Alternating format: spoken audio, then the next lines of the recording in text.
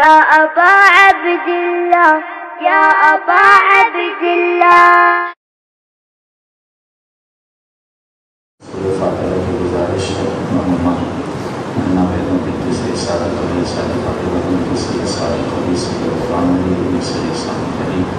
سیدہ شاہ اسلام اور حاضرین مجلس کے رکھنے والوں ہیں definition that الذين آخرين سأكري سورة الفاتحة بسم الله الرحمن الرحيم الحمد لله رب العالمين الرحمن الرحيم مالك يوم الدين إياك نعبد وإياك نستعين صراط المستقيم صراط الذين أنعمت عليهم بسم الله الرحمن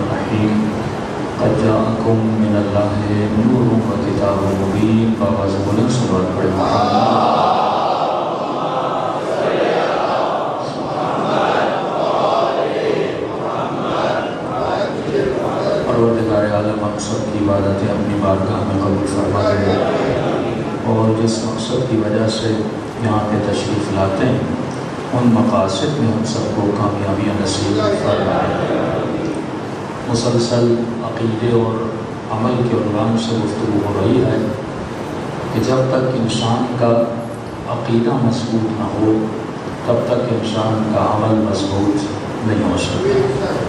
عمل کا دار و مدار عقیدے پر ہے اور معصوم فرماتے ہیں، اگر تمہیں اپنے عقیدے کو مضبوط کرنا ہے، تو تمہیں اپنی عقل کو مضبوط کرنا ہوگا۔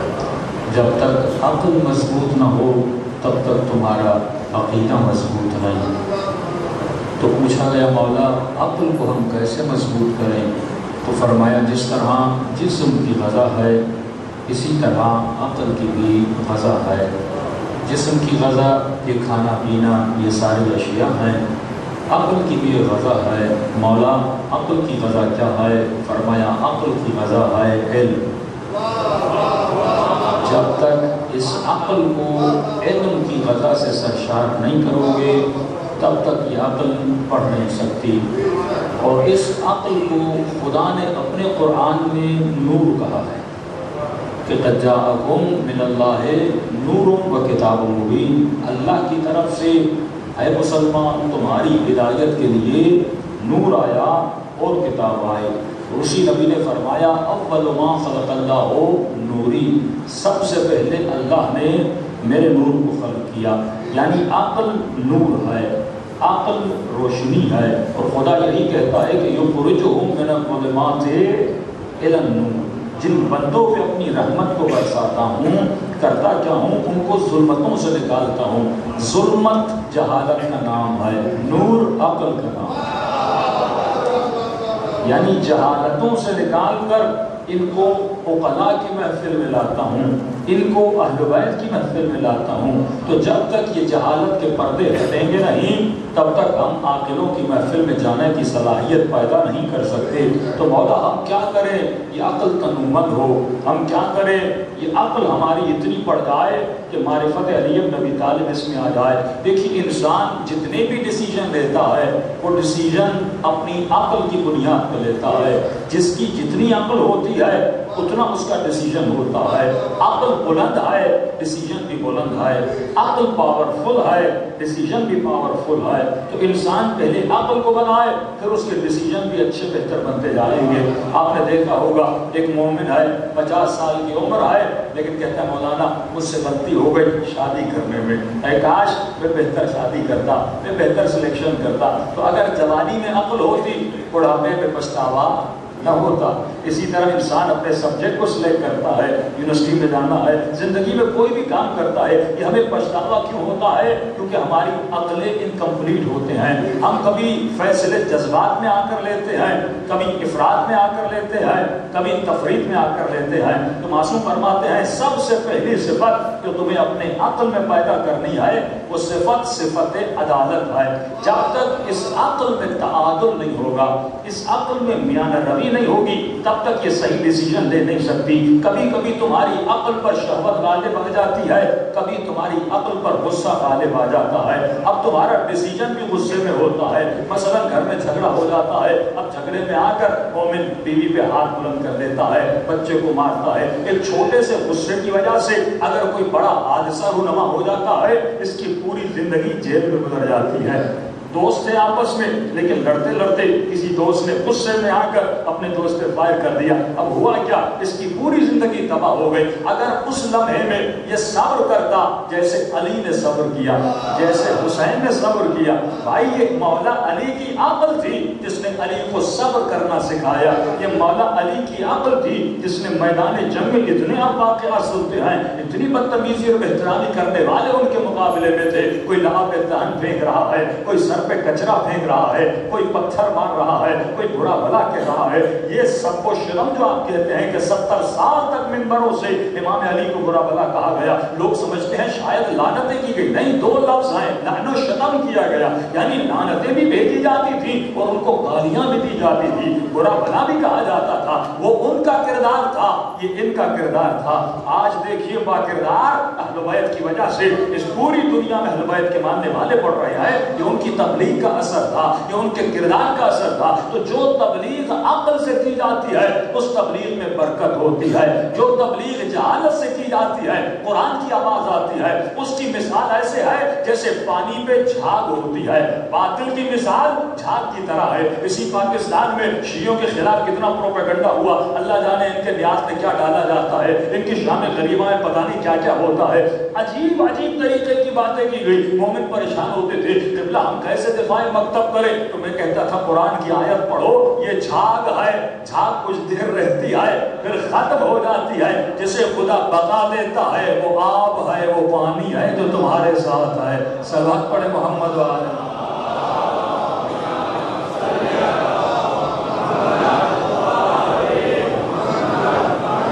تو باطل جھاگ ہے۔ باطل کچھ دیر تک باقی رہتا ہے۔ لیکن جو حق ہے وہ جھاگ اس باطل کے اس حق کے اوپر آ جاتی ہے۔ وہ کچھ دیر تک تو رہتا ہے، جس طرح آپ کپڑے دھوتے ہیں، یہ جھاگ کچھ دیر باقی رہتی ہے، لیکن جھاگ وقت کے گزرنے کے ساتھ ساتھ ختم ہو جاتی ہے۔ جسے بقا ہے، وہ حق کو بقا ہے۔ جسے بقا ہے، وہ عقل کو بقا ہے۔ آپ کتنا بھی جذبات میں آ کر ڈیسیجن لیں، یہ جذبات جھاگ ہے۔ ابھی غصے میں ہے، آپ نے ڈیسیجن لیا۔ فوراً جب یہ جھاگ بیٹھ جائے گی یہ پچھتاوا کھاتا ہے، اے کاش میں غصہ نہ کرتا، اے کاش میں بدتمیزی نہ کرتا، اے کاش میں ہاتھ کو بلند نہ کرتا۔ اسی طرح خاتون ہے شوہر پہ غصہ کرتی ہے یہ غصہ جھاگ ہے، لیکن جب یہ بیٹھ جاتا ہے، دیکھیے انسان غصہ اس لیے کرتا ہے، معصوم فرماتے ہیں، تمہارے ہر عقیدے کے پیچھے تمہارے ایموشن چھپے ہوئے ہیں، تمہارے احساسات چھپے ہوئے ہیں۔ عقیدہ اس کے پیچھے جذبات ہیں، عقیدہ اس کے پیچھے ایموشنز ہیں۔ میں نے مثال بھی دی تھی، مثلا مولا علی کا نام سن کے آپ خوش ہوتے ہیں۔ ایک اور ہے جو علی کا نام سن کے چلتا ہے۔ دونوں آدمی، لیکن وہ علی کا نام سن کے چلتا ہے۔ ہاں، یہ علی کا نام سن کے خوش ہوتا ہے۔ وجہ کیا ہے؟ کیونکہ دونوں کے جذبات الگ الگ ہیں۔ دونوں کے جذبات الگ الگ ہیں۔ اس کے ایموشن الگ ہیں۔ اس کے ایموشنز الگ ہیں۔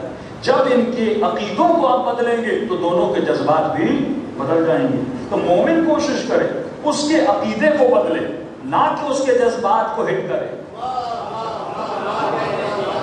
ہمارے یہاں کیا ہوتا ہے؟ صرف جذبات کو کیا جاتا ہے۔ عجیب عجیب مثالیں دی جاتی ہیں۔ حالانکہ وہ دینی نہیں چاہیے۔ جیسے گھڑی کی مثال دی جاتی ہے، تین کانٹے۔ ہیں یہ کوئی دینے کی بات ہے؟ اب ظاہر ہے تین کانٹے نہ ہو تو تمہیں ٹائم سمجھ میں کہاں سے آئے؟ کانٹوں کا تو ہونا بھی ضروری ہے۔ لیکن مومن عجیب عجیب مثالوں پہ خوش ہونے لگتا ہے۔ یہ بھی حب ہے جب اپنے عقیدے کی تعریف سنیں اس پہ خوش ہو۔ اور جب دوسروں کی برائی سنیں اس پہ خوش ہو۔ یہ بھی حب ذات کا عنصر ہے۔ پھر آئیے میں آپ کون کی محفلوں میں لے چلتا ہوں؟ وہ شیعہ کافر کہتے ہیں تو وہ بھی بڑا جھومتے ہیں۔ تو معصوم فرماتے ہیں، کوشش کرو اس کے عقیدے کو بدلو۔ اور کیسے عقیدوں کو بدلو گے؟ عقل کے ذریعے سے۔ کردار کے ذریعے سے، صحیح رفتار کے ذریعے سے رسول خدا روزانہ ایک گلی سے گزرتے ہیں۔ ایک خاتون کچرا پھینکتی ہے۔ اصحاب نے کہا، یا رسول اللہ، رستہ بدل دیجیے کہتے ہیں، نہیں، اسی رستے سے چلوں گا۔ اسی رستے سے چلوں گا۔ روزانہ جاتے تھے دیکھیے، اگر ایک اسٹوڈنٹ کلاس میں ریگولرلی آتا ہو اور ایک دن نہ آئے، تو آپ کو یاد آتا ہے آج آیا کیوں نہیں؟ روز مصطفیٰ اس راستے سے جاتے تھے۔ ایک دن جب رسول گزرنے لگے تو کچرا پھینکنے والی نے کچرا نہیں پھینکا۔ نبی کو اس کی یاد آئی۔ کہ روز پھینکتی تھی؟ آج ایبسینٹ کیوں ہو گئی؟ کچھ ہوا تو نہیں۔ اصحاب نے کہا، رسول، آپ تو شکر ادا کریں کہ آج کچرا نہیں پھینکا۔ کہ نہیں نہیں، معلوم جا کر کرو اس کو کیا ہوا ہے؟ اصحاب نے معلوم کیا پتا چلا، یا رسول اللہ، وہ تو بیمار پڑ گئی کہ چلو، اس کی عیادت کے لیے چلتے ہیں۔ مصطفیٰ، اگر آپ سے کوئی برائی کرے، اگر آپ کا دشمن ہو، تو آپ تو خوش ہوں گے اچھا ہوا، وہ تحس نحس ہو گیا۔ آج کے بعد اس کا چہرہ مجھے نظر نہیں آئے گا۔ لیکن یہ مصطفیٰ کا کردار ہے۔ یہ رحمت للعالمین کا کردار ہے۔ وہ رحمت صرف خاص کے لیے نہیں آئے، بلکہ عام کے لیے بھی آئے۔ خدا کے دو نام ہیں۔ ایک نام رحمان ہے۔ ایک نام رحیم ہے، ایک رحمت عام ہے، ایک رحمت خاص ہے۔ رحمت عام جیسے خدا بارش برساتا ہے۔ کبھی بادلوں کو یہ نہیں کہتا کہ علی والے کے گھر میں زیادہ برسنا۔ فلاں کے گھر میں کم برسنا۔ فرمایا جب اس کی رحمت آ جاتی ہے یہ رحمت عام ہے، وہ کافر کو بھی دیتا ہے، وہ منافق کو بھی دیتا ہے۔ ایک رحمت خاص ہے جو صرف شیعوں کو عطا کرتا ہے، صرف آپ کو فرش ازائے حسین پہ بلایا۔ یہ رحمت خاص ہے، خاص لوگوں کو چن چن کے اس رحمت میں بلاتا ہے۔ ایک رحمت عام ہے، مصطفیٰ رحمت للعالمین ہے۔ ان کی رحمت عالمین کے لیے ہے۔ فرمایا، جاؤ، جا کر معلوم کرو اس کی طبیعت کو کیا ہوا ہے۔ فرمایا، یا رسول اللہ، لگتا ہے اس کی طبیعت ناساز ہے۔ نبی نے کہا، چلو، اس کی عیادت کے لیے چلتے ہیں۔ اب اس بوڑھی خاتون کو پتا چلا، جس کے اوپر روز کچرا پھینکتی تھی، وہ میری عیادت کے لیے آ رہا ہے۔ اس نے خیال میں تو یہ سوچا، ابھی مصطفیٰ آئیں گے، ابھی محمد آئیں گے، میرا مذاق اڑائیں گے۔ آج تجھے کیا ہوا؟ اچھا ہوا، بیمار پڑ گئی، روز کچرا پھینکتی تھی۔ دیکھا، اللہ نے تمہارے ساتھ کیا کیا؟ کبھی آئے گا تانے دینے جیسے مصطفیٰ اوپر گئے اس بوڑھی نے رسول کو دیکھا، کہا، تانے دینے آئے ہو؟ کہا، نہیں، دعا دینے آیا ہوں۔ کہ اللہ تمہیں شفا دے، تم ٹھیک ٹھاک ہو جاؤ۔ کہ کیا کہنے کا مطلب ہے؟ اگر میں ٹھیک ہو جاؤں گی پھر آپ کے سر پہ کچرا پھینکوں گی۔ کہ کوئی بات نہیں، وہ تیرا کردار ہے، یہ میرا کردار ہے۔ جب تک تو چاہے کچرا پھینکتی رہے، مصطفیٰ تجھے منع نہیں کرے گا، فوراً کہتی ہے، اگر کسی خدا کا بھیجا ہوا ایسا رحمت بھرا نبی ہے، تو اس پر میں بھی ایمان لانا چاہتی ہوں۔ سلوات پڑھے محمد والے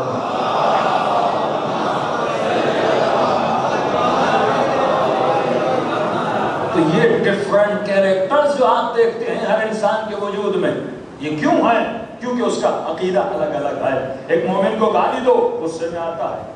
ایک مومن کو گالی دو، صبر کرتا ہے۔ ایک مومن کو گالی دو، گولی چلانے پہ آ جاتا ہے۔ ایک مومن کو گالی دو، وہ دعا کرتا ہے، اللہ تجھے ہدایت دے۔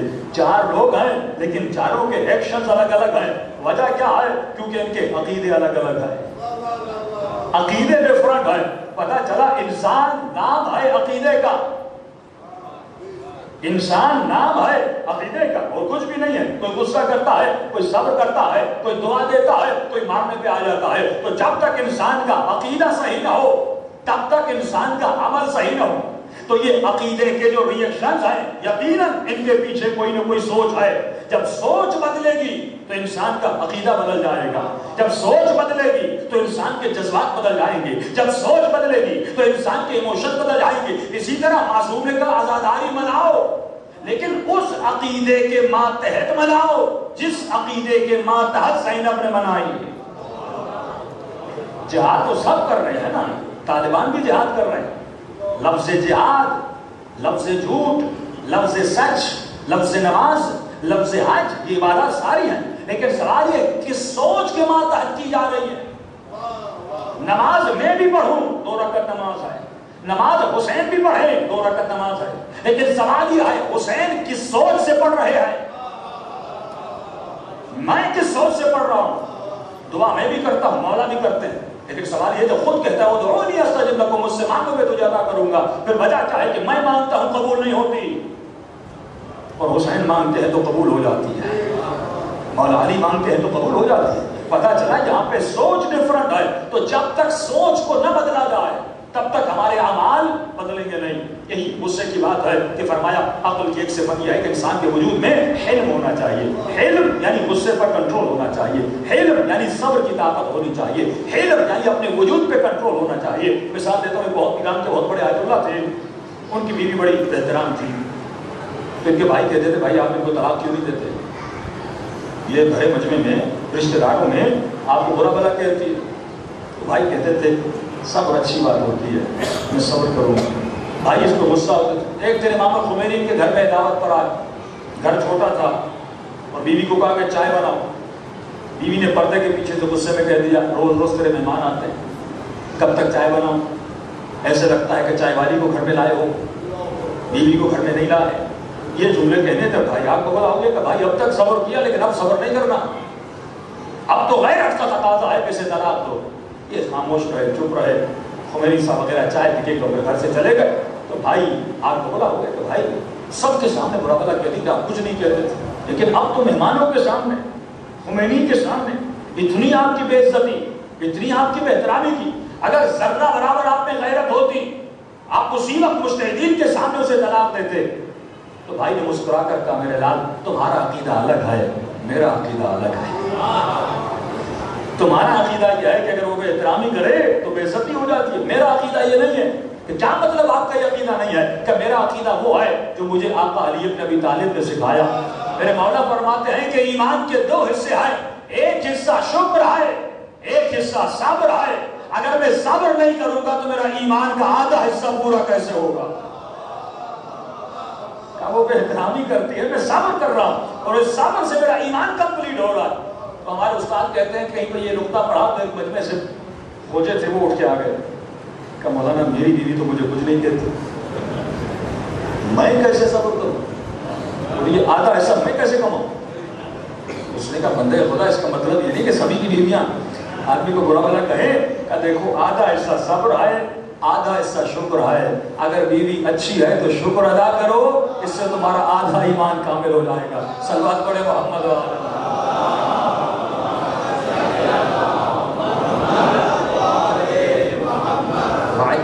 تو آپ نے دیکھا، اگر انسان کا عقیدہ الگ ہو، بہت سارے واقعات ہیں۔ کچھ نوجوان بیٹھے تھے، وہ جناب سلمان فارسی کا مذاق اڑانے لگے۔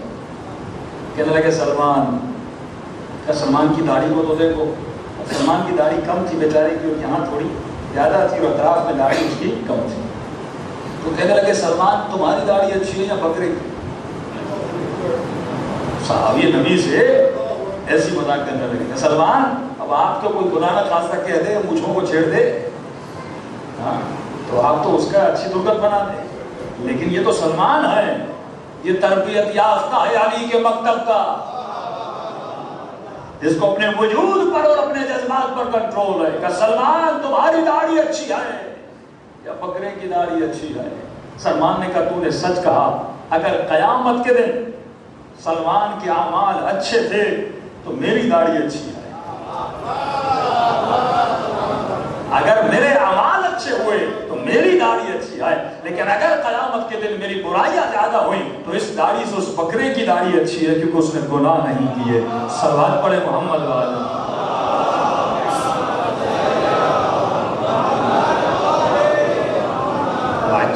تو آپ نے دیکھا اگر انسان میں عقل ہو اور انسان عقل کے ذریعے سے اپنے وجود کو، اس وجود کی گاڑی کو ڈرائیو کرنا سیکھ جائے، اس کے ڈرائیور میں حلم ہونا چاہیے۔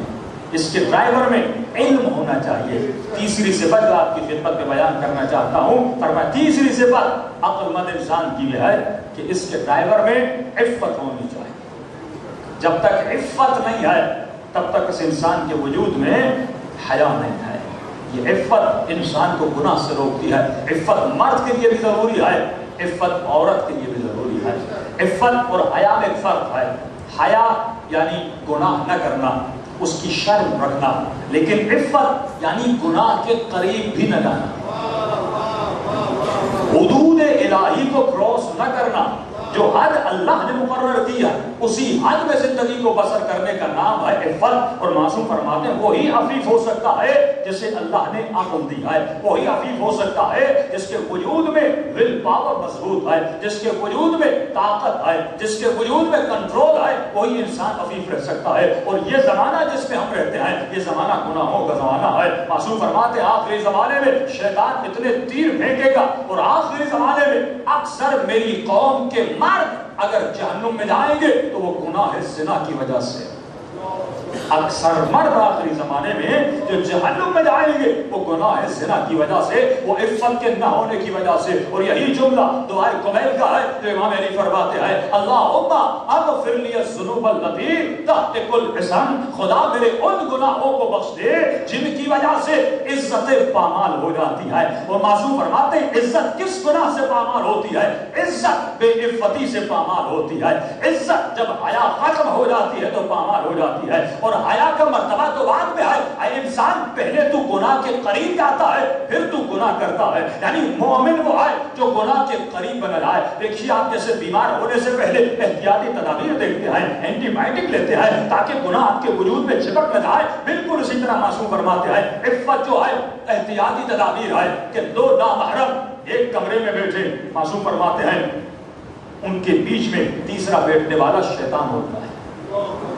یہاں تک منع کیا، آپ پیٹرول پمپ پہ گاڑی کھڑی کریں اور شیشوں کو اوپر کریں، تب بھی آپ سگریٹ نہیں پیئیں گے۔ بھائی سگریٹ کیوں نہیں پی رہے؟ کہ کبھی بھی گاڑی میں آگ لگ سکتی ہے؟ اسے کہتے احتیاط۔ اسے کہتے ہیں احتمال ضرر ہو سکتا ہے گاڑی میں آگ لگ جائے۔ اس لیے معصوم فرماتے بند کمرے میں ایک محرم اور نامحرم آپس میں بیٹھے۔ تیسرا ان کے درمیان میں جو بیٹھنے والا ہوتا ہے، وہ شیطان ہوتا ہے، وہ ان کی عفت دری کرتا ہے، وہ ذہن میں وسوسہ پیدا کرتا ہے۔ تبھی قرآن کی آخری دو سورے ہیں، وہ حسد کے ہیں اور عفت کے ہیں۔ یوسوسو فی صدور الناس من الجنت والناس، یہ تمہارے سینے میں وسوسہ پیدا کرتا ہے، یہ تمہیں گناہ کی طرف لے جاتا ہے۔ اور کہتا یہ ہے، اتنے کام کرنے سے کچھ نہیں ہوتا، تھوڑی بات کرنے سے کچھ نہیں نہیں ہوتا، تھوڑی چیٹ کرنے سے کچھ نہیں ہوتا، ایک تو پیج دیکھنے سے کچھ نہیں ہوتا، ہمیشہ یہی کہتا ہے کہ تھوڑا کرو، اس میں کچھ نہیں ہوتا، اور تو پھنستا جاتا ہے، اس کے دان میں پھنستا جاتا ہے۔ تبھی معصوم فرماتے ہیں کہ گناہ کی مثال ایک دلدل کی طرح ہے۔ جب تو دلدل میں جاتا ہے، تجھے احساس نہیں ہوتا، لیکن وہ آہستہ آہستہ تجھے کھینچتی چلی جاتی ہے۔ یہاں تک کہ تو سر تک نیچے چلا جاتا ہے۔ اب نکل بھی نہیں سکتا، اور صرف ڈوبنے کا راستہ ہوتا ہے۔ اسی طرح تمہاری عصمت تباہ ہو جاتی ہے۔ آج عصمت دریوں کا زمانہ ہے۔ مومن کو سمجھ سمجھنا چاہیے، وہ کون سے ابزار ہے دیکھیے کہ لفظ ہے ابزار۔ یہ لاؤڈ ہے، یہ ابزار ہے، یہ ٹول ہے۔ آپ اس کو یوز کر سکتے ہیں۔ میں اس میں گانا بھی پڑھ سکتا ہوں، میں اس میں نوحہ بھی پڑھ سکتا ہوں، میں اچھا پیغام بھی دے سکتا ہوں، میں برا پیغام بھی دے سکتا ہوں، میں آپ کو ہدایت کا درس بھی دے سکتا ہوں، میں آپ کو گمراہی کا درس بھی دے سکتا ہوں۔ اسی طرح موبائل جو ہے، یہ ابزار ہے۔ اس ابزار کو اچھا استعمال بھی کر سکتے ہیں، اس ابزار کو برا استعمال بھی کر سکتے ہیں۔ اب والد کو یہ فکر تو ہے کہ بیٹے کو موبائل لے کے دینی ہے۔ بیٹی کو موبائل لے کے دینی ہے۔ لیکن یہ فکر نہیں کہ میں نے اس کے وجود میں عقل کو بنایا کہ نہیں۔ اس کو سکھاؤ بھی تو صحیح۔ وہ باپ دشمن ہے اپنے بیٹے کا، جو گاڑی تو لے کر دے، لیکن اسے ڈرائیونگ نہ سکھائے۔ اور چابی دے جا میرے لال اشارہ فضر پہ گاڑی کو توڑا۔ ہاں؟ بائک لے کر دے، جا، میرے لال، اور جا کر بائک چلا۔ اب ظاہر جس کو بائک چلانا نہیں آتی، یہ ایکسیڈنٹ کرے گا، اور کن لوگوں کا نقصان کرے گا؟ بائک کا نقصان کرے گا۔ اپنا نقصان کرے گا۔ جسے لگائے گا اس کا نقصان کرے گا۔ ہم نے موبائل کو دے دیا، لیکن اس جوان کو یہ نہیں سکھایا۔ یہ چول ہے، یہ ابزار ہے، یہ استعمال کرنے کا طریقہ کیا ہوتا ہے؟ لیکن ہم نے اسے یہ نہیں سکھایا۔ بیٹی کو موبائل دے دی، لیکن ہم نے نہیں پتا۔ یعنی موبائل دینا یہ بالکل ایسے ہے۔ ظاہر موبائل ہوگا، اس میں واٹس ایپ ہوگا، موبائل ہوگا، اس میں انٹرنیٹ ہوگا، موبائل ہوگا، اس میں براؤزر ہوگا، موبائل ہوگا، اس میں گوگل ہوگا، موبائل ہوگا، اس میں ہر چیز ہوگی۔ یعنی آپ نے اپنی اولاد کو ایسی دنیا کے حوالے کر دیا جس دنیا میں سب کچھ ہے۔ یعنی آپ ایسے تصور کریے بیٹے کو ایسے میدان میں بھیج دیں کھلا سا بہت بڑا میدان ہے اس میدان میں مائنس بھی لگے ہوئے ہیں اس میدان میں پھل بھی لگے ہوئے ہیں اس میدان میں پودے بھی لگے ہوئے ہیں اس میدان میں کربلا بھی ہے اس میدان میں مدینہ بھی ہے اس میدان میں مکہ بھی ہے اس میدان میں شیطان بھی ہے اس میدان میں یزید بھی ہے اس میدان میں شبر بھی ہے اب راستہ کون دکھائے گا یا صرف کہنا جاؤ میدان میں کہیں اس کا پاؤں مائن پہ آ گیا تو اس کا جسم تباہ ہو جائے گا۔ اسی طرح جب نیٹ کی دنیا میں جاتا ہے، اس کی روح تباہ ہو جاتی ہے۔ تو فرمایا، عمر دیکھ کر ان کے ہاتھ میں چیزیں دیا کرو۔ چھوٹے بچے کو پسٹل نہیں دی جاتی۔ وہ محبت کا تقاضا نہیں ہے۔ جب عمر آتی ہے، اس وقت اس کو چیزیں دی جاتی ہیں۔ چھوٹے چھوٹے کھلونے انگریزوں کو بھی اتنی عقل آئے کہ وہ لکھتے ہیں کہ پندرہ سال کے زیادہ بچے کو دیا جائے۔ سات سال سے کم بچے کو نہ دیا جائے۔ یہ انگریز کو عقل ہے، لیکن جو مسلمان جسے حلوائد نے سکھایا، تمہیں کب اپنے اولاد کو کون سی چیز دینی ہے؟ یہ تربیت انسان کب کرے گا؟ ایک سال سے سات سال تک یہ بادشاہ، سات سال سے چودہ سال تک تمہارا غلام ہے۔ غلام کو یہ چیزیں نہیں دیا کرتے۔ چودہ سال سے انیس سال تک تمہارا وزیر ہے۔ یہ مشورے لینا سیکھے گا۔ تو اسے مشورے دینا سکھا۔ اسے یہ بتا، میرے لال، کون سی چیز اچھی ہے؟ کون سی چیز بری ہے؟ جب تک اسے اچھے اور برے کی پہچان نہیں ہوگی، یہ اپنی زندگی کو تباہ کر دے گا۔ یہ آج اتنے عشق و عاشقیاں کیوں ہیں؟ کہ بچے گھروں سے بھاگ جاتے ہیں۔ بچیوں کے اتنے شود آتے ہیں۔ مولانا شادی میں بچی انکار کر گئے میں کیوں کر گئے کہ مولانا کسی کو بتا نہیں سکتے گھر میں مسئلہ پڑا ہوا ہے بیٹی فلاں جگہ پہ شادی کرنا چاہتی ہے والد پریشان ماں پریشان اب ظاہر بیٹے سے محبت بھی ہے ایک طرف عزت کا خطرہ بھی یہ سارے وسائل کیوں آتے ہیں کیونکہ ہم ان کو فکری آزادی دیتے ہیں یہ ہاتھ معصوم فرماتے ہیں اللہ کی امانت ہے یہ جوان جو چیٹ کرتا ہے ہاتھوں سے اسے سوچنا چاہیے یہ انگلیاں مجھے کہاں پہ استعمال کرنی ہے یہ زبان مجھے کہاں پہ استعمال کرنی؟ ہے یہ آنکھیں مجھے کہاں پہ استعمال کرنی؟ یہ کان مجھے کہاں پہ استعمال کر رہے ہیں تو جتنے معاشرے میں مسائل پیدا ہو رہے ہیں، وہ بے عفتی کی وجہ سے۔ عفت یہ نہیں کہ صرف چادر پہن کے باہر بیٹیاں گھومیں۔ عفت یہ نہیں کہ بیٹا داڑھی رکھے، مولانا بڑا نمازی مسجد میں آتا ہے۔ عفت یہ ہے، اگر داڑھی رکھی ہے، مسجد میں آتا ہے، تو رات کو گھر میں بھی موبائل کے استعمال کرنے میں بھی عفیف ہونا چاہیے۔ ہاں، انٹرنیٹ کے استعمال کرنے میں آج کسی کے ایمان کو چیک کرنا ہو یہ چھوٹا سا موبائل ہے، یہ انسان کی ایمان کی ڈائری ہے چیک کر لیں تو پتہ چل جائے گا کس کا کتنا ایمان ہے، کیا سنتا کیا دیکھتا ہے۔ یہاں کی ہسٹری یعنی مغرب والوں کو پتا کس کا کتنا ایمان ہے۔ وہ آپ کی پوری ڈیٹا رکھتے ہیں۔ ان کو کوئی خطرہ نہیں ہے۔ ان کو پتا ہے کہ ان کے جوان ہمارے میدان میں کھیل رہے ہیں۔ یہ فٹ بال جو کھیل رہے ہیں، یہ جو گراؤنڈ دیا ہوا ہے، ہم نے دیا ہوا ہے۔ بال بھی ہم نے دی ہوئی ہے۔ ان کو مشغول بھی ہم نے رکھا ہوا ہے، ان کے ٹائم کو ہم نے خریدا ہوا ہے، ان کے انرجی کو ہم نے خریدا ہوا ہے، ان کے مغزوں کو ہم نے خریدا ہوا ہے، ان کے برین کو ہم استعمال کر رہے ہیں۔ تو دشمن کون سے فکر کرے گا؟ تھوڑی بہت جو فکر دی جا رہی تھی نمبر سے، اس کو بھی انہوں نے کیچ آؤٹ کر لیا ہے۔ وہ بھی ختم ہو گئی اس نمبر سے۔ بس اسی خوشی میں یہ رہے کہ علی سب سے بہادر تھے۔ اسی خوشی میں یہ رہے کہ شب ہجرت علی سوئے تھے اسی خوشی میں یہ رہے کہ دوسرے بھاگ گئے تھے، ان کے مولا لڑ رہے تھے۔ ارے سوال یہ ہے علی اس زمانے میں لڑ رہے تھے، آج تو اپنے نفس سے کیوں نہیں لڑتا؟ وہ جس طرح موت پہ سکون سے سو گئے تھے، تو اپنے نفس کو موت کیوں نہیں دیتا؟ کمال علی یہ تھا کہ علی نے نفس کو موت دی تھی۔ فرمایا، موتو قبل ان تموتو۔ اس سے پہلے کہ ملک الموت تمہیں مارے، تو اپنے نفس کو خود مار دے۔ اپنی موت کا تماشا خود دیکھ اپنی آنکھوں سے۔ اس سے پہلے کہ تمہیں موت کا تماشا دکھایا جائے، اس سے پہلے کہ تمہیں قبر دکھائی جائے، اس سے پہلے کہ تمہیں برزخ دکھائی جائے۔ اے مومن ایسا بن جا کہ عالم کو خود دیکھے گا، آنکھوں سے پردے ہٹا اور اس عالم آخرت کو خود دیکھ لے۔ اور یہ کب ہوگا؟ جب اپنی عقل کو بلند کرے گا، جب گھروں میں ایسی تربیت ہوگی، جب ایسے بچے پیدا ہوں گے جن پر امام زمانہ فخر کریں گے۔ اور یہ کب ہوگا؟ جب جوانوں میں عفت پیدا ہوگی سبق پڑے محمد والا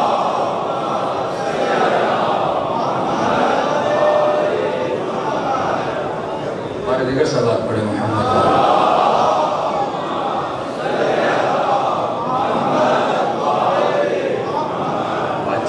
ہمارے دوست مولانا کہیں ہم رشتے پر گئے تو ہم نے کہاں بیٹی نمازی ہے سب کچھ ہے ہم نے کہا نہیں ہمیں ایک چیز چیک کرنی ہے موبائل موبائل چیک کرواؤ تو پتہ چل جائے گا کون کتنا نیک ہے موبائل چیک کرنے کے بعد پتہ چلا کہ کوئی نیکی نہیں ہے آج انسان کی فکر کس چیز کو یوز کر رہی ہے؟ یہ بعد میں سارے مسائل آتے ہیں، بھائی ایک جوان مجلس میں آتا ہے، لیکن اسے یہ پتا نہ ہو کہ مجھے زندگی کیسے گزارنی ہے۔ اور زبان سے امام حسین ایک ہی جملہ کہتے رہے نا کہ تین لوگوں کی زبان کی چٹخاری کا نام ہے۔ یہ مزہ لیتے ہیں۔ حسین حسین کر کے مزہ لیتے ہیں۔ علی علی کر کے مزہ لیتے ہیں۔ یہ نام مزے کے لیے نہیں ہے۔ یہ کردار کو بدلنے کے لیے ہے۔ مزے لینے میں کیا ہے؟ ایک اچھا گلوکار ہو، اچھی آواز ہو، کسی زمانے کا مولانا کہ دیکھیے اس میں مولا علی کی شان میں بہت اچھا پڑھا ہے۔ اب وہ ہندو تھا۔ پڑھنے والا ہندو، علی کو جانتا نہیں۔ سننے والے سارے ہندو، وہ بھی علی کو نہیں جانتے۔ بڑے محسوس ہو رہے تھے۔ بڑا مزہ۔ میں نے کہا، یہ علی کے نام سے مزہ نہیں لے رہے، اس کی سور سے مزہ لے رہے۔ اب ظاہر اس میں سر بھی ہے، اس میں دھن بھی ہے، اس میں میوزک ہے، سب چیز انکلوڈیڈ ہے نا۔ وہ ان سے مزہ لے، کہیں سے تھوڑی مزہ لے رہے ہیں۔ تو ایسا نہ ہو کہ کہیں ہم مجلسوں میں ان چیزوں سے مزہ لے رہے ہیں۔ کبھی خطابت ہوتی ہے، کبھی اسٹائل ہوتا ہے، کبھی اچھا واقعہ ہوتا ہے۔ ان چیزوں سے مومن محسوس ہو رہا ہوتا ہے، مزہ لے رہا ہوتا ہے۔ اصل چیز جس کو آپ مزہ کہیں، وہ مزہ ہے کہ تمہاری روح مزہ لے۔ اور روحانی لطف جو ہوتا ہے، وہ بہت گہرائی تک ہوتا ہے۔ وہ تمہارے وجود کو بدل دیتا ہے۔ وہی لطف جو جناب حر نے اٹھایا۔ امام نے حر کے سامنے کوئی قصیدہ نہیں پڑھا۔ امام نے حر کے سامنے کوئی مولا علی کے بڑے فضائل نہیں پڑھے۔ ایک جملہ کا، سخت جملہ کا۔ تنبیہ کی حر کی یہ جملہ اگر کوئی سردار کسی سردار کو کہتا جنگیں چڑھ جاتی اور قبیلے کے قبیلے مر جاتے، تو کیا رات اپنی ماں کا احترام بہت کرتے تھے۔ امام نے ایک جملہ کہا، اور فقلت کا امک، تجھ پہ تیری ماں روئے۔ یعنی تیری ماں تیری قبر پہ بیٹھے اور تیرا جنازہ اٹھائے۔ اور بھی کہنا چاہتا تھا، لیکن امام نے اس کو متوجہ کرنا چاہا، اس کے ضمیر کو جوڑنا چاہا۔ اور جب کہنا چاہتا تھا تو اور کے وجود میں وہ کنٹرول تھا۔ اس کنٹرول کا نام ایمان ہے نا۔ کہہ دیتا تو کیا ہوتا؟ بے ادبی کر دیتا تو کیا ہوتا؟ ان میں کنٹرول نہیں تھا جنہوں نے سیدہ کے گھر کو آگ لگائی۔ اور اسی لیے بہتر تھا کیونکہ اس میں ادب تھا، اس میں احترام تھا، اس کا عقیدہ اچھا تھا۔ تھوڑا بہت بھٹکا ہوا تھا، لیکن ادب ضرور تھا۔ یہ ادب انسان کو جنت تک لے جاتا ہے۔ یہ احترام انسان کو علی والا بناتا ہے۔ بے ادب محروم از لطف رب۔ جب تو بے ادب ہو جاتا ہے تو اللہ کے لطف و کرم سے محروم ہو جاتا ہے۔ بے ادبی کیا ہے؟ بے ادبی نافرمانی ہے۔ بے ادبی اس کے حضور میں گناہ کرنا ہے۔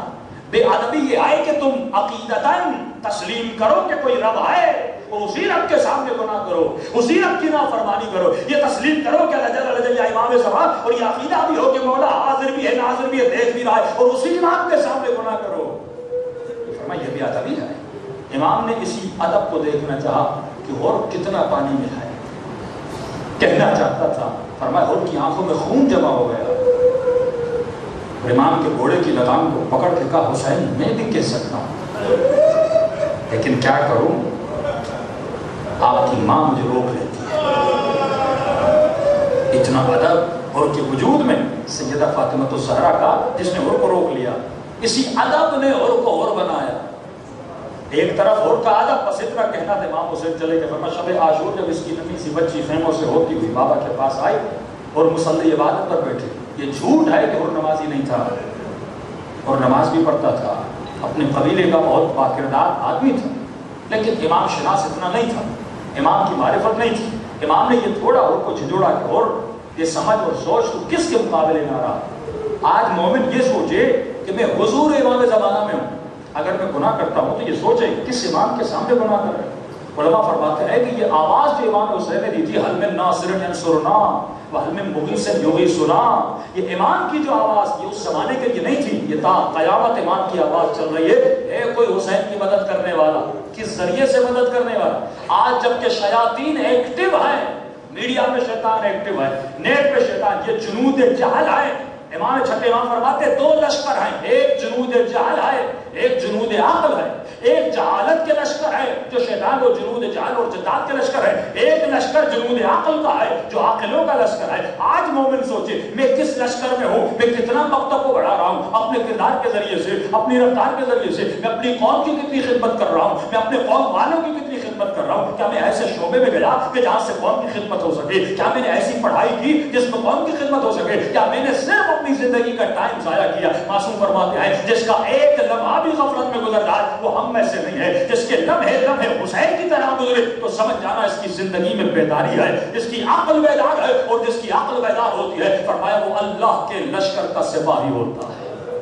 کہیں پر بھی دنیا سے چلا جائے، دنیا کی پرواہ نہ کرنا۔ اے مومن، یہ مت سوچنا جو تو کر رہا ہے، اس کا رزلٹ کیا ہوگا؟ رزلٹ اللہ پہ چھوڑ دینا، پروردگار عالم پہ چھوڑ دینا۔ فرمایا اور اگر اور بنا تو حسین کی وجہ سے، حسین کے ایک جملے کی وجہ سے۔ تو کتنا احترام کیا امام حسین نے اور کا؟ جب اور نے احترام کیا تو حسین نے بھی احترام کیا۔ یہ روایت میں پڑھتا ہوں، مجھے بڑا تعجب ہوتا ہے۔ اپنے آقا کی رحمت کا، رافت کا، کہ کتنے کریم امام ہیں تمہارے۔ فرمایا، جب اور شہید ہو کے زمین پہ گرا فوراً امام نے اس کا سر اپنی گود میں لیا۔ کسی شہید کو یہ کمال نہ ملا جو امام نے حر کو عطا کیا۔ امام نے کہا، اور تو نے میری ماں کا احترام کیا تھا۔ اس کی جزا تو تمہیں ملے گی۔ کل کے چکا نا ایک مرتبہ گناہ کرتے ہو اور اس گناہ کی توبہ۔ کسی نے سوال کیا، مولانا توبہ ہوتی کیا ہے؟ یعنی میں نے گناہ کیا آ کر مجلس میں رویا تو کیا خدا گناہ بخش دے گا؟ معصوم فرماتے نہیں۔ میں دعائے کمیل میں گیا میں نے بڑا کیا کیا تو خدا بخش دے گا؟ معصوم فرماتے نہیں۔ کیسی توبہ جس کو قرآن نے کہا توبت نسوح ایسی توبہ جس کے بعد پلٹ کے گناہ کی طرف نہ جاؤ جس کو ہم کہتے ہیں ازالہ گناہ۔ یعنی گناہ کیا اب گناہ کا ازالہ کرو۔ مثلا کیا؟ مثلا اگر نماز قضا ہے، یہ گناہ کیا۔ اب رو روتے رہو گے، خدا، میں نے نمازیں نہیں پڑھی، میرے گناہوں کو بخش دے مسو برباد ازالہ کرو۔ اب اتنی نمازیں بجا لاؤ، ان قضا نمازوں کا ازالہ ہو جائے۔ والد سے بہترامی کی، بدتمیزی کی۔ یہ نہیں کہ اگر والد کو کہو کہ بابا، میں نے بڑا گناہ کیا، مجھے بخش دو۔ وہ والد ہے، دل نرم ہے بیٹا، میں نے تمہیں بخش دیا، لیکن اظہار گناہیا اتنی اس کی خدمت کرو۔ کہ وہ ازالہ ہو جائے، یہ ازالہ گناہ ماں سے بہترامی کی، اس کا ازالہ کرو۔ کسی کا حق کھایا، بہن کی دل ازاری کی، بیوی کے ساتھ بدتمیزی کی، بیوی نے شوہر کے ساتھ بہترامی کی، اس کا ازالہ کرو۔ بیٹا ہے، باپ کے ساتھ بہترامی کی، اس کا ازالہ ازالہ گناہ۔ مولا میں نے زنا کی، اس کا ازالہ کیا ہے؟ زنا کا ازالہ کیا ہونا چاہیے؟ شراب کا ازالہ کیا ہے؟ نشے کا ازالہ کیا ہے؟ ازالہ یہ ہے، جب تک معصوم نشانی بتا دے۔ فرمائے جب تک۔ مثلا میں زنا کی گناہ کروں رب خدا، میں زنا کی، میرے گناہ کو بخش دے۔ فرمائے، جب تک اس گناہ کی لذت نفرت میں نہ بدل جائے۔ بعض اوقات یہ ہوتا ہے نا، ایک آدمی نشہ کرتا ہے، نشے کی عادت ہے۔ اب نشہ چھوڑ دیا، لیکن جب جب نشے کا سوچتا ہے، اسے مزہ آتا ہے۔ اس کا دل کرتا ہے، پھر کروں پھر کروں۔ اس کا مطلب اس نے توبہ نہیں یہ پھر بھی پلٹ کے جا سکتا ہے۔ اسی طرح زنا اسی طرح حرام خوری، اسی طرح رشوت ہے، اسی طرح تمام تر حقوق ہے۔ جب تک اس کی نفرت تمہارے دل میں پیدا نہ ہو جائے، معصوم فرماتے ہیں، تب تک تمہارا گناہ قابل قبول نہیں ہے۔ اسی طرح امام رضا فرماتے ہیں، اگر کوئی ایسے آ کے توبہ کرے، ہمارے حرم میں، اللہ کی محفل میں، مسجد میں، دعائے قبیل میں، اے خدا میرے گناہوں کو بخش دے، اور دعا ختم ہونے کے بعد پھر جا کر گناہ کرے، تو فرمائے، یہ توبہ نہیں کر رہا، یہ اپنا مذاق اڑا رہا ہے۔ یہ توبہ نہیں ہے، یہ مسکرا رہا ہے، مذاق اڑا رہا ہے، اللہ کا مذاق اڑا رہا ہے۔ کہ توبہ یہ توبہ تو نسوح یعنی ایسی توبہ پلٹ کر گناہ کی طرف نہ جائے، گناہ کی نفرت دل میں پیدا ہو جائے۔ جب جب گناہ کا سوچے، اس کی آنکھوں میں آنسو آ جائیں، ارے میں نے کس رب کے سامنے، امام سمنا کے سامنے، امام حسین کے سامنے، سیدہ کے حضور میں میں نے گناہ کیا۔ اور اتنا بڑا گناہ کہ جس گناہ کے لیے امام حسین فرماتے ہیں، اے مومن، تم میں سے جو جو کربلا کے واقعے کے بعد گناہ کرتا ہے، اس کی مثال ایسے آئے جیسے مجھے حسین کے بدن پہ تیر لگاتا ہے۔ اتنا بڑا گناہ کرے، اپنے آقا کو تکلیف دے۔ یہی امام زمانہ غالب علامہ راشد جفی کو فرماتے ہیں راشد میرے شیعوں کو بتا دے۔ ہر شب انیس، جب شب قدر آتی ہے، انیس سو اکیس سو تیئیس جب شب قدر آتی ہے، تمہارے سارے سال کے نام اعمال میری خدمت میں آتے ہیں۔ جب میں تمہاری نیکیوں کو دیکھتا ہوں، میرا دل باغ باغ ہو جاتا ہے۔ جب تمہاری برائیوں کو دیکھتا فرماتے میں کربلا کے مصاحب پہ اتنا نہیں ہوتا۔ جتنا تمہارے گناہوں پہ ہوتا یہ سارا واقعہ ہوا۔ مثلا کوئی مومن اتنی محنت کرے کسی کام کے لیے اور اس کی محنت بھی ضائع ہو جائے۔ اس طرح مثال دیتے ہیں، پاکستان کس نیت سے بنا تھا۔ اگر اسی ہدف کو آج حکمرانوں نے اور پامال کر دیا تو بنانے والوں کو تکلیف تو ہوگی نا۔ اتنی جانیں قربان ہوئی لیکن وہ ہدف پامال کیا جائے۔ اسی طرح شہداء کو تکلیف ہوتی ہے۔ جن کا خون بہا تاکہ مومن اپنا کردار بنائے اور نہ بنائے امام حسین فرماتے ہمیں تکلیف ہوتی ہے۔ ہور نے حسین کا احترام کیا۔ امام نے ہور کا سر گود میں لیا اور ایک مرتبہ کا ہور تو نے میری ماں کا احترام کیا۔ تھا کہا مولا امام نے کہا ہور میں نے تجھے جملہ کہا تھا۔ کہا جی مولا کہا، مجھے لگتا ہے کہ تمہارے دل میں شاید رنجش ہو۔ کہ حسین نے مجھے ایسا کیوں کہا کہ تجھ پہ تیری ماں روئے؟ تو کر نہیں مولا، میں نے معاف کر دیا، میں جانتا ہوں کہ آپ نے اس لیے کہا تھا تاکہ میں سدھر جاؤں۔ آپ نے اس لیے کہا تھا تاکہ میرا ضمیر بلند ہو جائے۔ امام نے کہا نہیں، اور بھی، پھر بھی ہو سکتا ہے۔ تمہارے دل میں یہ بات ہو، کتنی پرواہ ہے امام حسین۔ تمہارے دل میں یہ رنجش ہو کہ حسین نے مجھے ایسا کیوں کہا؟ اس وقت امام نے جیب سے ایک رومال نکالا۔ کہو یہ وہ رومال ہے جو اما زہرا نے اپنے ہاتھوں سے سیا تھا۔ وہ رومال اڑ کے ماتھے پہ باندھا۔ کہو قیامت کے دن کوئی بھی شہید تم جیسا نہیں ہوگا۔ تمہارے سر پہ میری ماں زہرا کے رومال کا تاج ہوگا۔ تو اس رومال کے ساتھ اٹھے گا۔ انہوں نے شکریہ ادا کیا۔ امام نے کہا پھر بھی ہو سکتا ہے۔ تمہارے ذہن میں جو کہ حسین نے تمہاری ماں کو ایسا جملہ کیوں کہا؟ کہا اب یہ جملہ سنو۔ تمہارے لیے کہتا ہوں کہ اور، تمہاری ماں کتنی شریف تھی۔ جس نے ہر جیسا بیٹا پیدا کیا۔ اتنی پرواہ ایمان کو توبہ کر کے آنے والے کی۔ اتنی پرواہ اپنے محب کی۔ معصوم فرماتے اگر ہماری محبت کو مومن دیکھ لے یہ اپنی جان قربان کرے کہ ہم کتنی اس سے محبت کرتے ہیں۔ آٹھویں امام کا ایک فرمانے میں ہر جگہ پڑھتا ہوں۔ امام فرماتے جب میرے حرم میں آؤ نا مومن، اے عزادار اگر امام سمجھ کے بات کرنے سے کتراتا ہے کہ مولا ہے بڑی شخصیت ہے میں کیسے امام سے ڈسکس کروں اپنی باتیں؟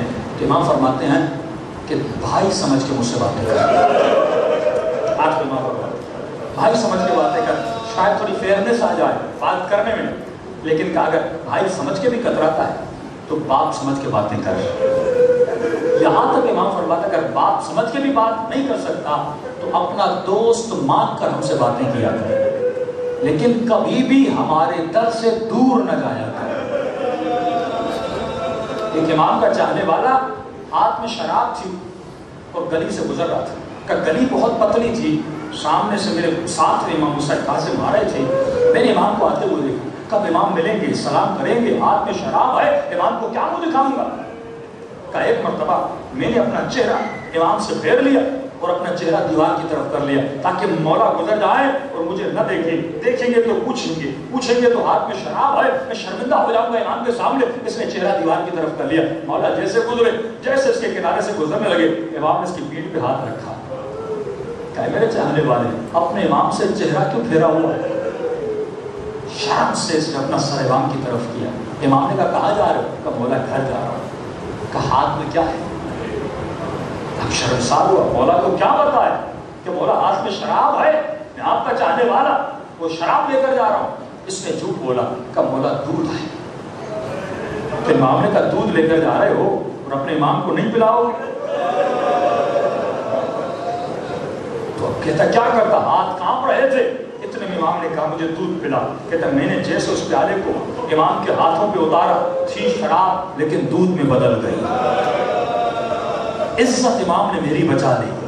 گناہگار تھا، لیکن زبان سے نکلے ہوئے جملے کو امام نے دعا میں بدل دیا اور اسے دودھ بنا دیا۔ کہ جب امام نے لیا اور جب جانے لگے، کہنے لگے، کتنے بھی گنہگار کیوں نہ ہو، لیکن کبھی بھی اپنا منہ ہم سے پھیرا نہ کرو۔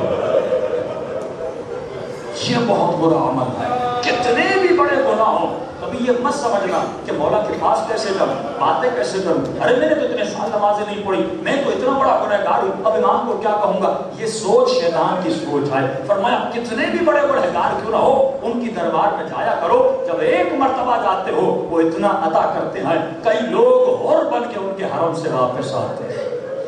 آئیے انہی غریب اہل بیت کو سلام کریں، جن کے صدقے میں یہ فرش ازا ہے۔ جن کے صدقے میں اتنے فرامین ہم کو سننے کو ملتے آئے۔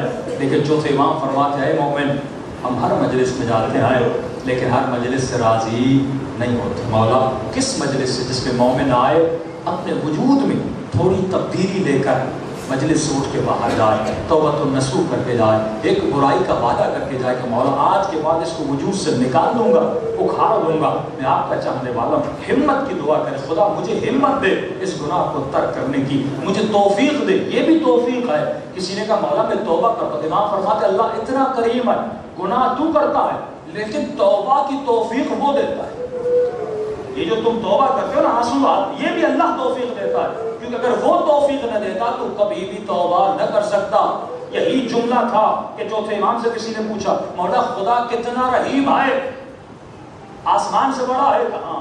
زمین سے کہاں؟ سمندر سے کہاں؟ کہ اس کی رحمت کی کوئی حد نہیں ہے۔ اس کی مغفرت کی کہا کتنا بڑا گناہ کیا اللہ کا، کتنا بھی بڑا گناہ خدا معاف کرتا ہے۔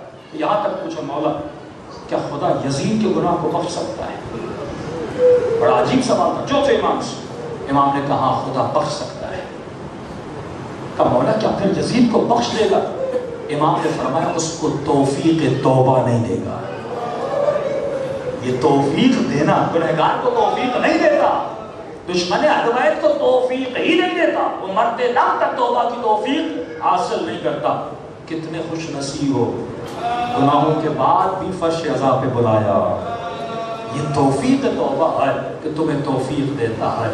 اور فرمایا، بہترین عمل اس ماہ مبارک میں اربعین تک اور پوری زندگی تک یہ ہے کہ حسین کو زیادہ سے زیادہ سلام کیا کرو اٹھتے بیٹھتے وہ غریب مولا جس کو کسی نے سلام نہ کیا۔ اربعین تک بیویوں کو کوئی سلام نہیں کرتا تھا۔ کوئی باغی کہتا تھا، کوئی قیدی کہتا تھا، کوئی بیمار کہتا تھا۔ کوئی یتیم کہتا تھا، کوئی بیوہ کہتا تھا۔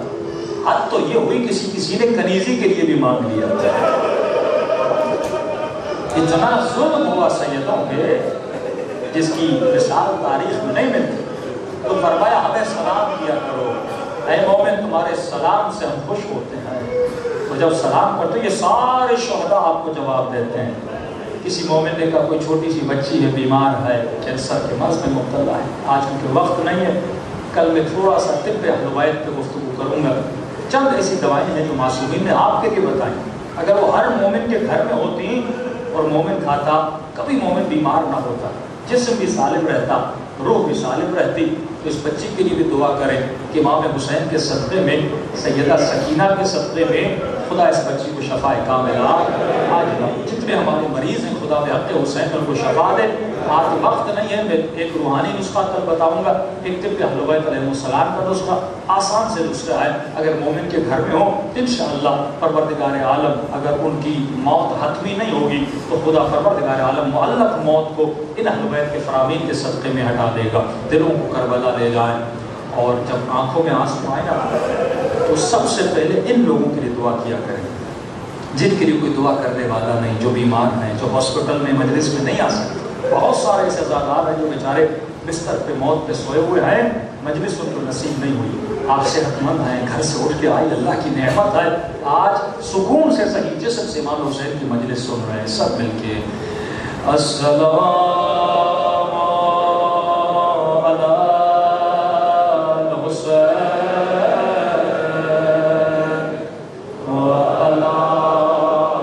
علی الحسین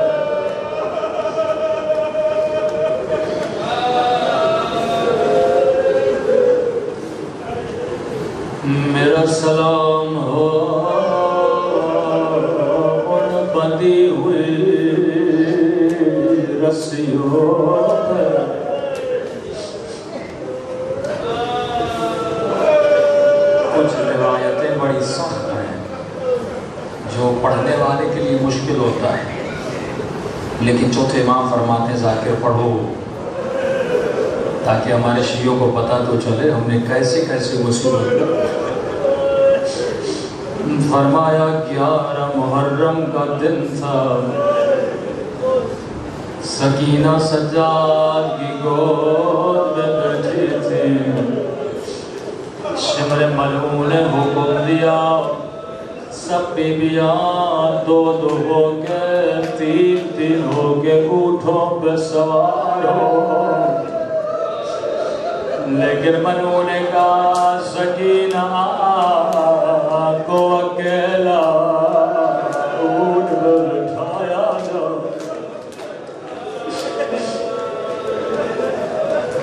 امام زمانہ فرماتے ہیں، جس بھی مجلس میں میری پپھی سکینہ کی مصیبت ہو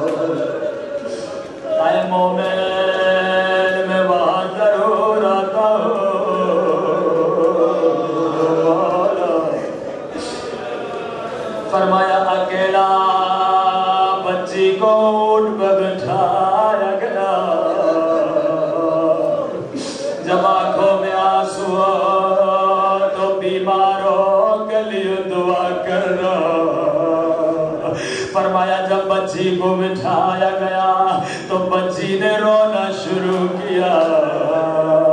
سجاد بھیا،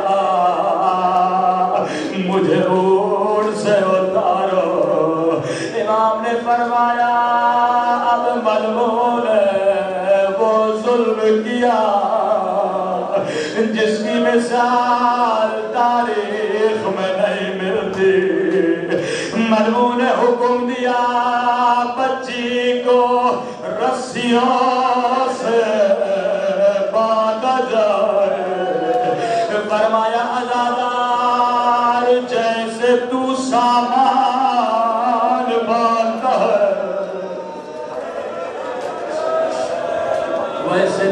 سی بچی کو باندھا گیا۔ فرمایا جب سواری کو روکا گیا جب بچی کو اتارا گیا، زینب نے باہوں کو پھیلایا آجا حسین کی امانہ۔ آجا میرے سینے سے لگ جا۔ فرمایا بچی کا بدن زخموں سے چور چور تھا۔ تبھی جب غسالہ نے غسل دیا کہنے لگی، مولا، یہ بدن پہ کالے نشان کیسے یہ رخساروں پہ نیل نشان کیسے بھی فرما دیا، قافلہ چل نہ رہا، جب بازار میں پہنچا، سکینہ نے دھیمی سی آواز میں کہا پپھی اماں، مجھے پیاس لگی ہے۔ زینب نے کہا سکینہ چپ ہو جا، یہاں پانی دینے والا کوئی نہیں، پر پتھر مارنے والے بہت یہ آواز کسی مومنہ نے سن لی۔ توڑتی ہوئی گئی گلاس میں پانی بھرا، آ کر بی بی زینب کو دیا۔ کہنے لگی، قیدی بی بی تیری بچی پیاسی نہ رہے میں تیری بچی کو پانی پلاؤں گی۔ کیا جناب سکینہ نے پانی لیا، پانی پینا چاہا۔ کہتی ہے، قیدی بی بی جب تیری بچی پانی پی لے، میرے لیے کچھ دعائیں کر لینا۔ زینب نے کہا، سکینہ، پانی بعد میں پینا۔ ہم کسی کا احسان نہیں اٹھاتے۔ میں اس کے لیے دعا کر۔ اب سکینہ نے دعا کے لیے ہاتھوں کو بلند کیا۔ اب تک اس مومنہ نے سکینہ کا چہرہ نہیں دیکھا۔ اب اس کی نگاہ زخمی کانوں پہ پڑ گئے۔ زخمی رخساروں پہ پڑ گئے۔ اپنی دعائیں بھول گئے۔ کہتی ہے قیدی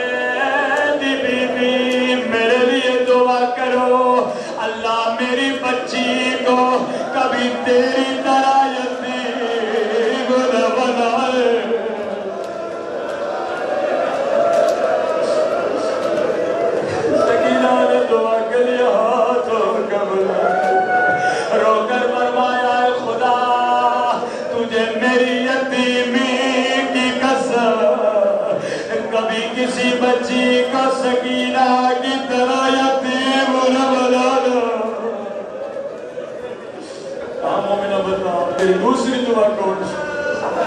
یہ دعا ایسی تھی، پورے قافلے میں بیویاں رونے لگی کہتی ہے، قیدی بی بی دعا کرو، اللہ مجھے مدینہ بھیجے۔ اب غربت میں وطن کا نام سنا زینب نے کہا مومنہ، مدینے میں تیرا کون؟ ہے کہا کہتی بی بی مدینے میں میرے حسین۔ مدینے میں میرا عباس مدینے میں میرے علی اکبر مدینے میں میری مرشد زادی ہے۔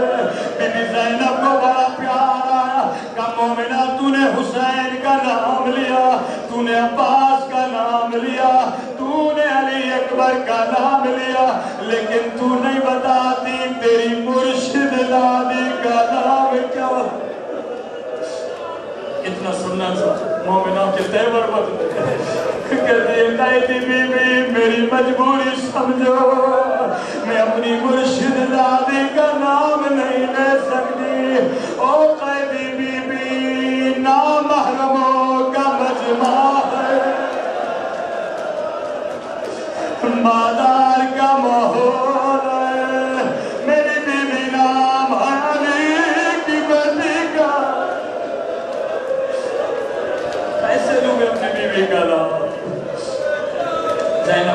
پیار کہا مومنہ اگر میں دعا کروں، تجھے اگر مدینے والی بی بی کی زیارت نصیب ہو جائے، تو کیا کہو گی کہتی ہے، قیدی بی بی تیرے بات کرنے کا مطلب کیا ہے؟ کہ اگر مدینے والی بازار میں نظر آ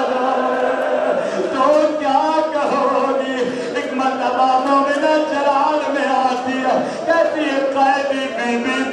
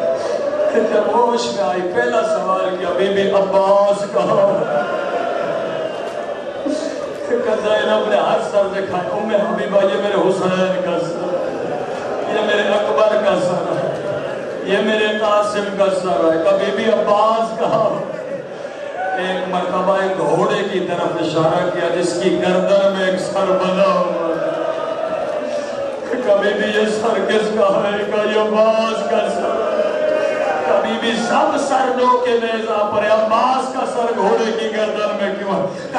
پہ رکھتے تھے، نگاہ میرے کھلے سر کے بندی کی زمین پہ۔ اللہ اللہ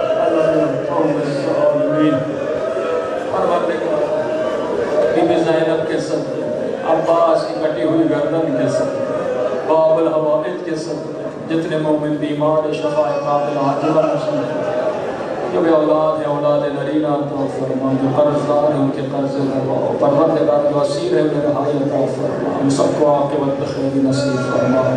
ذکر کو کریے، کو اپنی بارگاہ میں قبول فرما ربنا تقبل منا انکا انت السميع